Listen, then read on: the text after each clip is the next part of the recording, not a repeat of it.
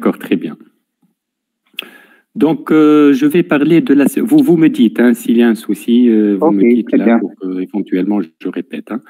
Euh, donc, je vais parler de la spécialité physiologie et exploration fonctionnelle. je vais apporter certaines informations concernant la durée du cursus, les stages obligatoires et optionnels, les terrains de stage, les CEC intéressants, la possibilité de faire la carrière hospitalo-universitaire euh, et, enfin la possibilité de, travailler dans le privé et à l'étranger. Donc, euh, pour, euh, pour la durée du cursus de la spécialité, il est de, donc, la, durée elle est de 4 ans. il y a la physiologie, donc là, là, là c'est, il y a une formation théorique et, il y a euh, le côté exploration fonctionnelle. Euh, donc là, je vais parler des, stages, les, stages obligatoires ainsi que les stages optionnels. Euh, il y a six semestres de stages obligatoires en, exploration fonctionnelle. Donc, les, sous-spécialités sont la pneumologie, la cardiologie, la gastro, la neurologie et euh, l'urologie, donc tout ce qui concerne la l'urodynamique. Hein. Euh, donc, donc là, ce sont les, spécialités où il y a l'exploration fonctionnelle, comme je l'ai dit, six semestres de stage obligatoire. Et puis, il y a les stages optionnels euh, deux, semestres de stage optionnel, un, semestre en neuro euh, ou bien en urologie, en cardio, en pneumologie ou en gastrologie. Bien sûr, ça dépend du choix du résident. Donc, euh, dès sa première année, il va choisir une sous-spécialité dans les explorations fonctionnelles et le stage optionnel, donc bien sûr, va dépendre de la sous-spécialité choisie.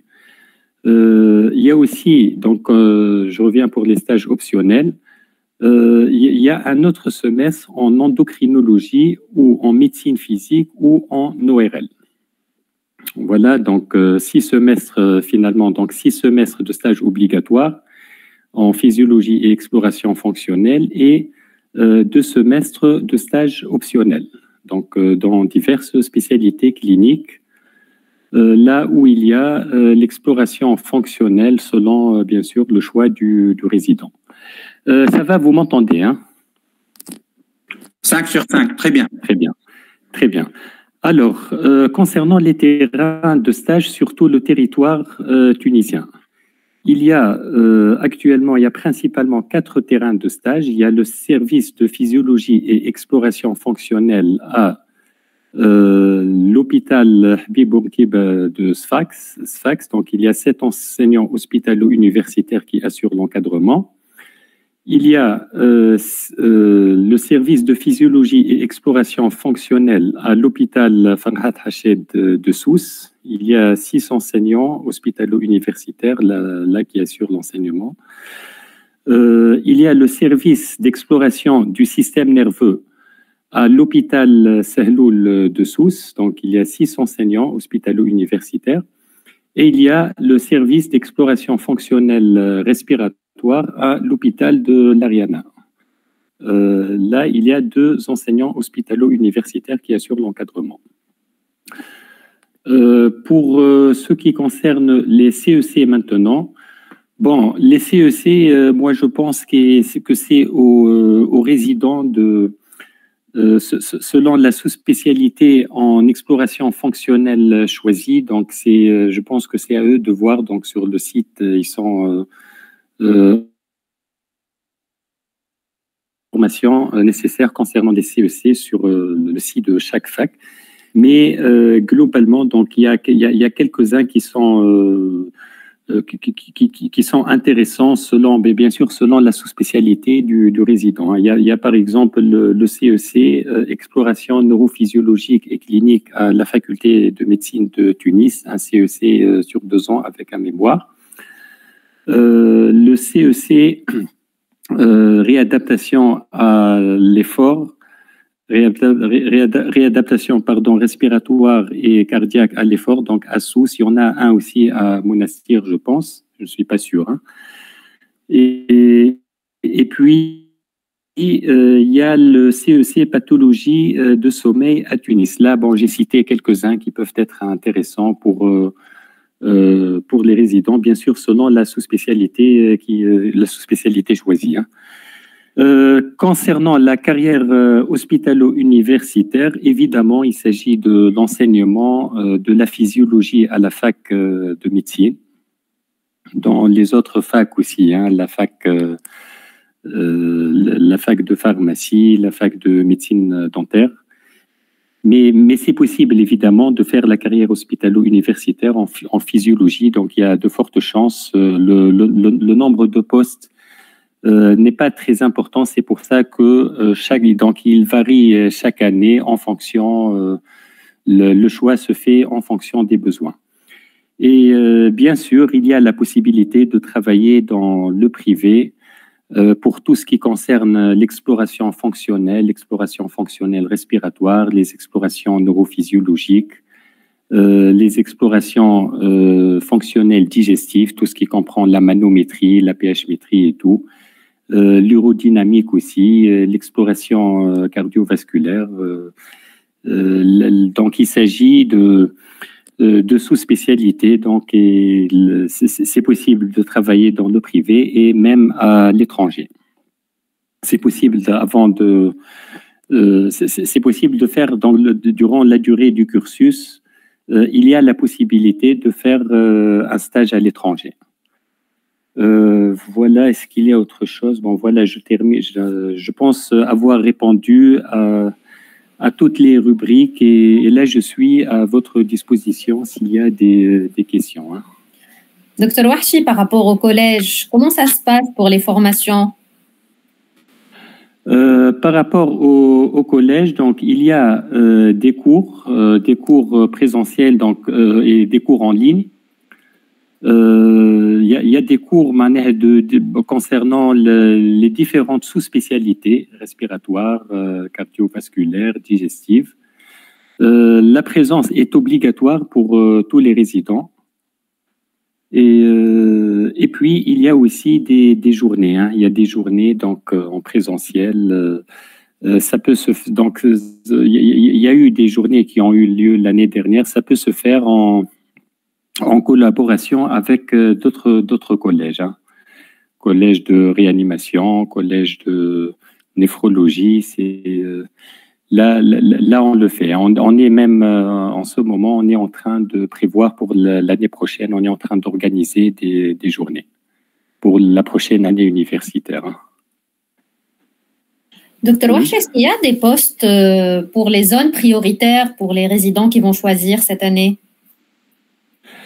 Euh, non, des, postes dans le cadre de stage ou bien pour après le, le cursus du résident?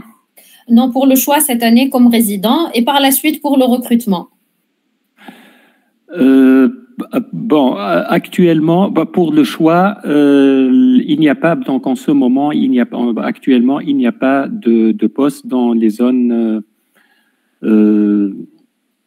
Euh, voilà, les zones prioritaires, j'ai déjà j'ai mentionné, il y a quatre services, quatre services, donc là où il y a où se fait l'exploration fonctionnelle, euh, le, stage doit être validé par euh, un physiologiste. Donc, euh, il, y a, quatre services ASUS, ASFAX, deux, deux, deux ASUS, un ASFAX et un service à Tunis. Sinon, sinon, pour le recrutement, le, le, secteur donc des, des, explorations fonctionnelles, il est toujours en développement. Donc, euh, malheureusement, pour le moment, il n'y a, pas de, de, résidents qui ont été formés en physiologie et qui travaillent actuellement dans les zones prioritaires, mais, plus tard, pourquoi pas. Donc, euh, étant donné qu'il y a qui sont en train de développer et de mettre au point certaines techniques d'exploration dans divers services hein, dans ces zones-là. D'accord. Il y a une question, docteur Wahchi, ici, euh, posée par euh, une des jeunes, euh, par, pardon, par Monsieur Salmen. Il vous dit, est-ce que le secteur privé est saturé ou non pour ce qui est de la physio? Et ah. est-ce que dans les grandes villes, est-ce qu'on a de la chance de pouvoir travailler et que ce soit vraiment rentable et lucratif? Eh ben, pas du tout. Le, secteur, il n'est pas, il n'est pas saturé. Euh, c'est toujours bon, bien sûr, je ne peux pas te répondre, ça dépend de la sous-spécialité. Hein. Par exemple, il y a actuellement, donc, il y a, il y a des sous-spécialités qui sont inexistantes jusqu'à maintenant. Hein. Par exemple, l'exploration des vertiges en ORL. Pourquoi pas développer euh, de nouvelles sous-spécialités là où il y a l'exploration fonctionnelle?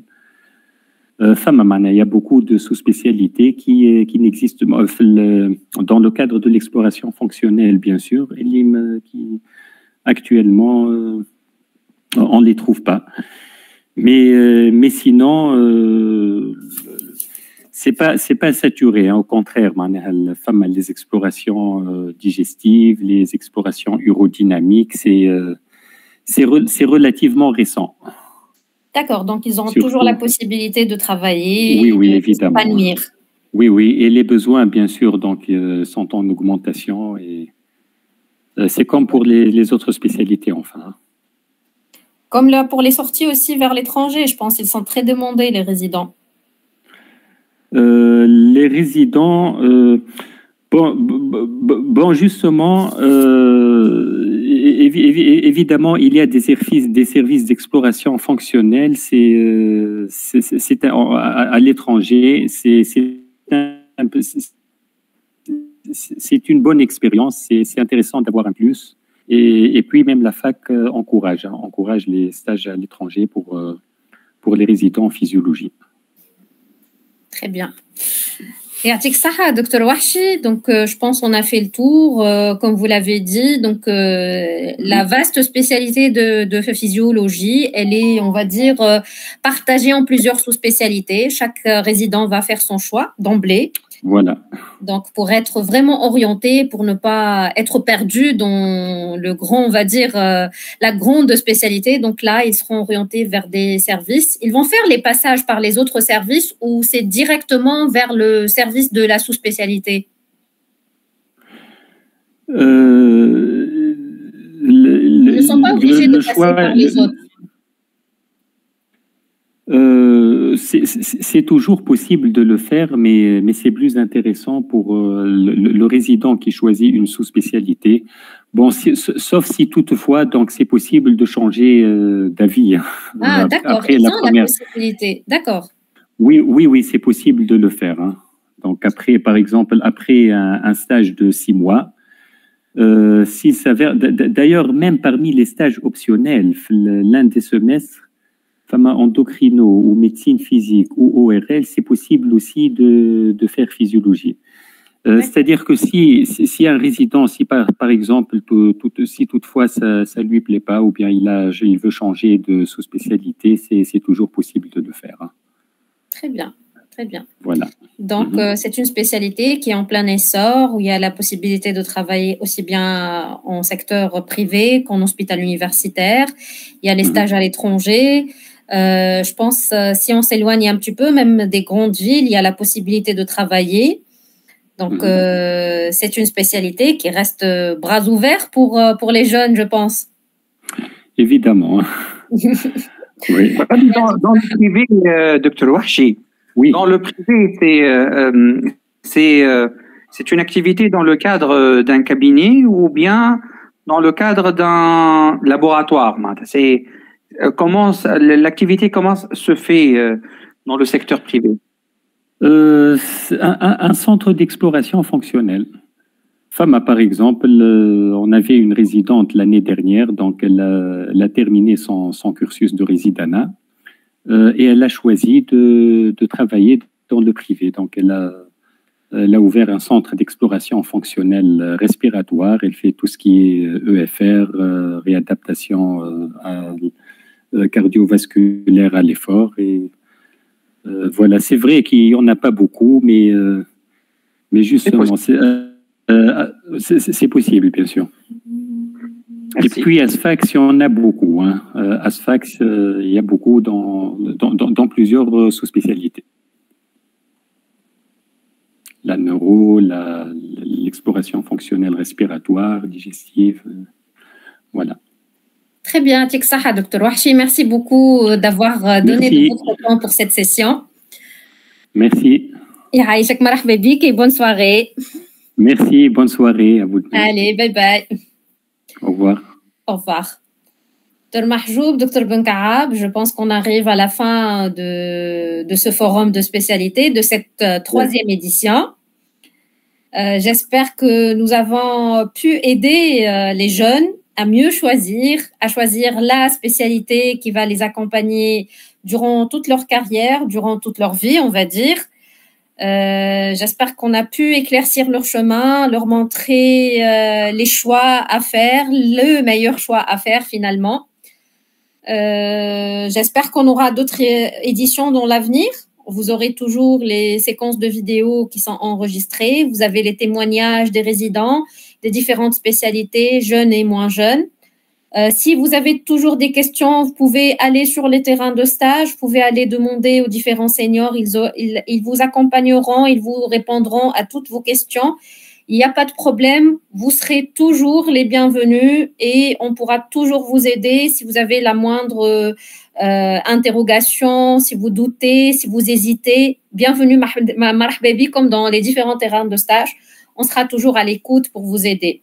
Dr Mahjoub, est-ce que vous avez autre chose à rajouter, Dr Benkarab Alors pour clôturer, en fait, peut-être un des meilleurs messages, peut-être selon moi, euh, en fait, il n'y a pas de meilleure spécialité كلهم يسوفال كلهم باهين ان فيني كيل كون سوا شنو كاتب لك كيلكو باغ ولا انت لو مود اللي بتختار فيه بتختار اون سبيسياليتي ابخي تعلم حبها تعلم خدم فيها تعلم اكسل et tu peux briller et faire briller la spécialité فهمتني خير ما تقعد ابخي بتت سي با سا بتت مبدل بتت مش هذاك فهمتني دونك هاكم عندكم فكره ان تو بتي بو جو بونس على ديفيرونت سبيسياليتي Euh, faites vos choix et aimez ce que vous allez faire. Et vous allez briller, je pense. Inch'Allah, dans vos futures carrières, Inch'Allah.